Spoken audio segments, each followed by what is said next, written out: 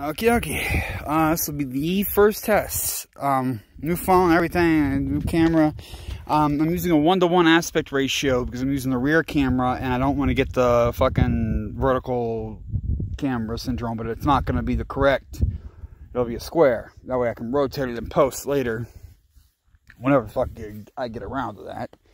Um, no, I, no, hold up. It'll just fucking work normally as it is. I don't have to rotate. I, I was thinking it would, it would, um, I would have to convert it probably. I just upload it as it is. It'll be in the correct format. It's the weird one. It's, it's hard. You have to do a big sense project. Um, my old computer couldn't do it to take the 16 by 9 vertical and flip it sideways and then blow it up to full screen. You have to do a whole edit for that.